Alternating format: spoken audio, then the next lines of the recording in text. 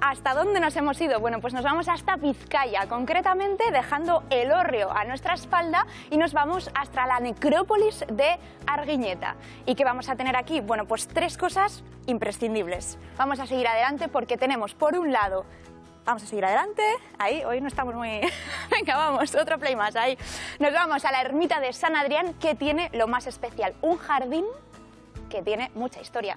Contiene 26 sarcófagos, ya no incluyen los huesos, ¿eh? os lo puedo garantizar, y 5 estelas funerarias. Yo me imagino que estaréis deseando poder saber qué es todo esto. Bueno, pues nos fuimos hasta allí con Fernando, vamos a verlo.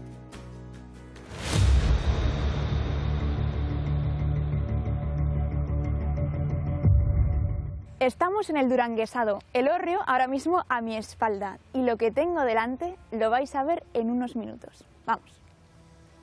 Aquí tienes delante de tus ojos la necrópolis de Arguiñeta. Es gigante. Esto es una maravilla. 26 sarcófagos y 5 estelas funerarias.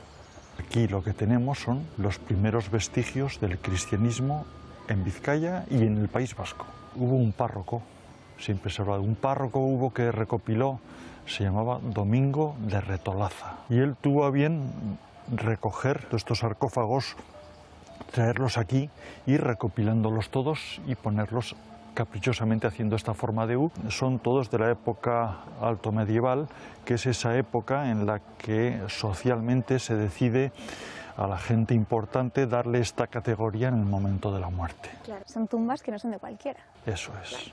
Y que también llama la atención el tamaño, ¿eh? El tamaño, pues fíjate, de, estas, de estos 26 sarcófagos que tenemos aquí, 13 de ellos pasan de los 2 metros de largo. Es decir, eran pues como la gente de ahora. de nuestra ¿eh? altura. De nuestra altura. Y Fernando, otra cosa que llama mucho la atención son estas estelas de tamaño natural, ¿eh? Son estelas discoideas o discoidales, como queramos, y por lo general las estelas suelen ser la parte visible redonda. Aquí tenemos una excepción que es una estela triangular. Sí. Y esta también es una excepción por el tamaño. Una estela que sepamos siempre que lo que se ve es una pequeña parte, más o menos una quinta o una sexta parte de lo que hay en tierra. Madre mía. Bueno, y aquí ya ves esta, este sarcófago. Tiene esa forma característica de los sarcófagos visigodos, el cuerpo rectangular y luego esta especie de tejadillo, ¿eh? que si lo cortásemos, pues sección triangular. Y encima, pues este Con tiene la, particularidad de que está, está escrito, está grabado eh, y está firmado. ¿eh? Dice aquí, habla de momus, Sí. me fecit, ¿eh? Es decir, me hizo y aquí descanso. Sarcófagos, leyendas y hasta fantasmas. Ya podemos decir que nos echamos a la calle. Ha estado en la necrópolis de Arguiñeta. Bueno, pues Anne, tengo que decirte que tú nos has confesado una cosa allí, Sí, ¿no? Vale, sí, pues sí. yo te tengo que confesar ¿Qué recuerdos? que esto tiene leyenda también. Ah, ¿sí? De estas que te ponen los pelos de punta. Y tengo que decirte también que me olió un poco a rosas. Ahora te voy a decir por qué. A ver, resulta... Si llego yo a saber esto cuando fui... Tela marinera. Os voy a contar la leyenda rápidamente. Hay un sarcófago doble allí, en Arguiñeta, porque se enterraron a dos abadesas juntas, eran hijas de un conde muy importante. Bueno, pues estas abadesas se aparecieron en sueños a ese sacerdote que trajo todos esos sarcófagos y le dijeron que por favor cerrase el sarcófago que estaba un poco abierto.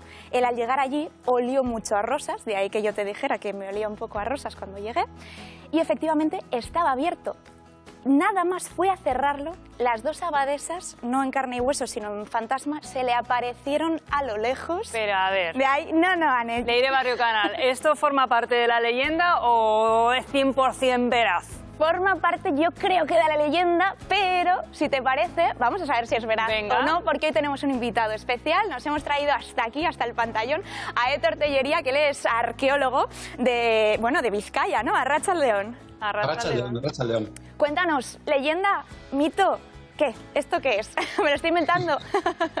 Bueno, eh, parece más mito que, otra cosa, ¿no? Pero bueno, no sé, eh, es una leyenda bonita, la verdad.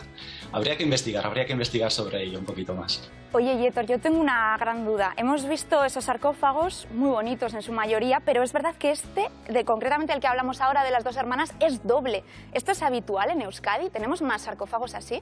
Eh, no, no es habitual, no es habitual. Normalmente las sepulturas suelen ser individuales. Lo que sí se hace es reutilizar la sepultura para enterrar a más gente o, bueno, sacar a uno y meter a otro. Pero eh, tener sarcófagos dobles no, no es, no es muy habitual, ¿no? Y estamos viendo ahora en imágenes eh, lo más bonito yo creo que, que, hemos podido ver allí, que son bueno, pues esas imágenes en las estelas. Cuéntanos un poco esa simbología, qué significa todas esas imágenes que vemos ahí. Sí, quizás eh, la que habéis centrado en la imagen es la que más llama la atención, ¿verdad? Eh, tiene como un anillo central y luego salen como nueve aspas o así, ¿no? De manera radial. Eh, este tipo de, de iconografía es, es habitual, bueno, habitual quiero decir, que viene desde muy lejos, ¿eh? desde hace muchos siglos. Em, se corresponde con un tema astral, con un tema astral, junto con anillos concéntricos, motivos geométricos, cruces, arcos de herradura. Eh, es una iconografía muy, eh, muy bella, vamos a decir, ¿no? y, muy, muy significativa. Pero realmente, ¿qué significa? Eh, bueno, meternos en, ese, en el mundo simbólico es difícil, pero bueno, lo que podemos decir es que se plasma, ¿no? De alguna manera de manera esquemática o geométrica, si se quiere decir, aquello que ven o aquello que perciben ¿no? Eh, alrededor. Y eso lo plasman en la piedra. Eh, Héctor, mm, lo que está claro es que esto es un lugar de muchísimo valor arqueológico para un arqueólogo como tú, un valor arqueológico y valor histórico porque hay que recalcar que, ahí están los testimonios escritos más antiguos de la presencia de núcleos cristianos en Vizcaya. también. O sea, ya estamos hablando de una epigrafía unos restos epigráficos que serían los primeros mm, que nos muestran la cristianización del, entorno. ¿no? Estamos hablando de un periodo histórico que es la Alta Edad Media, donde no hay mucho documento escrito, pero bueno, eh, sí que tenemos eh, restos eh, arqueológicos, ¿verdad? Entonces, los restos arqueológicos como las de Arguiñeta sí que nos arrojan luz sobre este periodo.